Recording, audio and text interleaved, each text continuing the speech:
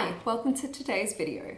In front of me I have three sizes of the Rabbitgoo dog harness. I have the large, medium and small.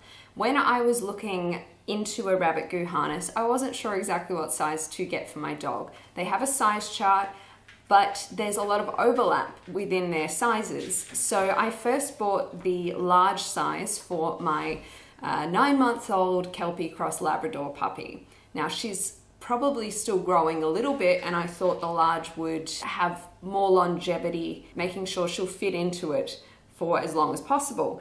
But when I got the large, I found it a little bit big around the neck. So then I ordered the medium and the medium is her size. The small here is for my dad's puppy. So I thought since I have all three sizes, I could quickly show you the differences in the actual sort of dimensions of the different sections. Let's have a look at these up close so you can see the differences. Um, I will say that the small has smaller clips. Um, and yeah, I think smaller hooks as well. So that's just something to note about the small harness. Let's look at these up close. Overall, not much difference there in the sizing. That's where the difference comes into play, I think, really with that small there.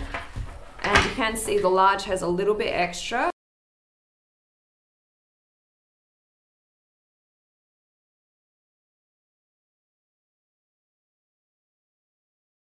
For anyone interested, this one cost $20, this one was 22 and this one was 25 they vary in price for the different colors and I got mine off of Amazon. I will put the link down below in the description.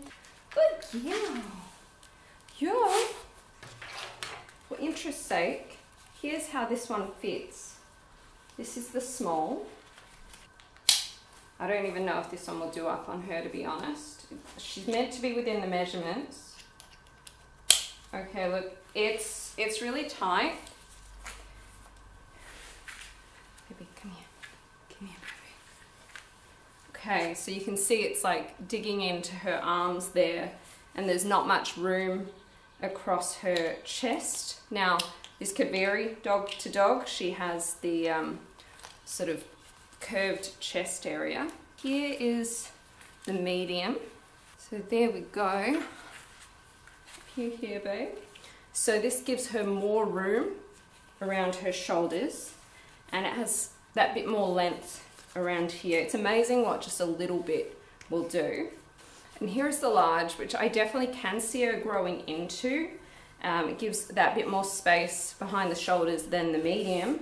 Um, but the neck is just that bit loose. So whenever you're pulling with a, a lead, it just comes in front of this leg and uh, it's not very comfortable at the moment for her. I'm going to take her out of these now.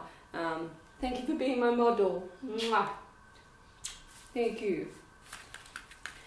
One thing I wish is that there were clips around the neck as well um, because I don't like having to adjust it every single time. And that's it. I hope you found this video helpful. Like it if you did and I hope you have a good day.